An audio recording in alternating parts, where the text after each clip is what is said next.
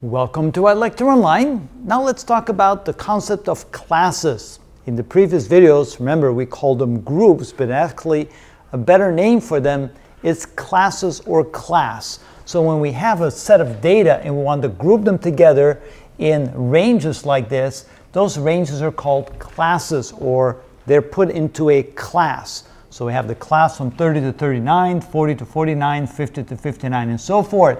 Remember, this concept here was doing a tally, and here we're measuring or at least identifying the frequency of occurrence for each class.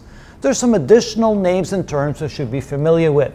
We should be familiar with the lower class limit, the upper class limit, the class width, the class boundary, the class mark, and the data range of a data set.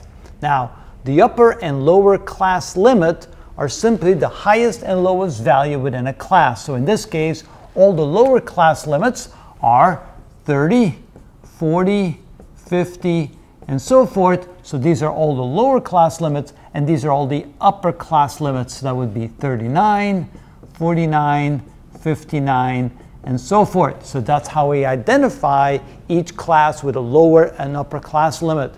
The class width is the difference between the lower limit of one class to the lower limit of the next class or the upper limit of one class to the upper limit of the next class. So we take this value here and this value and we take the difference. So 50 minus 40, that would be considered the class width. So 50 minus 40 equals 10, or we could take 59 minus 49, 59 minus 49, and let's see, we get the same class width. So that would be the width of each class. Sometimes people will think that the width is simply the upper limit minus the lower limit, but that will not give you the correct value for the class width. The class boundary is the halfway point between the upper limit of one class and the lower limit of the next class. So in other words, the halfway point would be, you add the two together, you get 50 plus 49 divided by 2, which is 99 divided by 2, which is equal to 49.5. So that would be the class boundary between this class and this class. 49.5 is the halfway point between 49 and 50, the upper class limit of this class and the lower class limit of that class.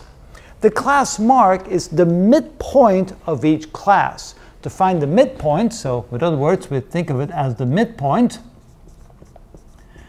The way to calculate that is to take one class, for example, let's take this class right here, you add the lower limit plus the upper limit together, and you divide by 2. So in this case, that would be 129 divided by 2, which is equal to 64.5. So that would be the middle point or the class mark of that particular class.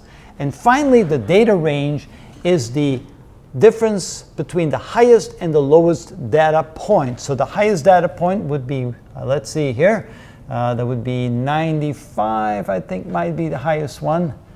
Yes, it looks like 95 is the highest one, and the lowest one would be 39.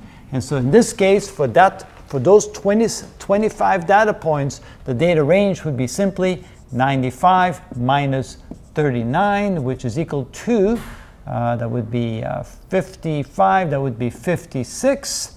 Yes, so that would be the data range, the difference between the highest and the lowest number in your data set.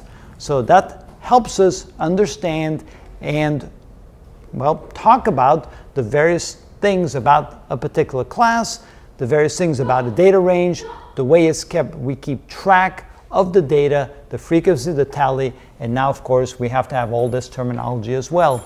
And that is how we keep track of the different aspects of each class.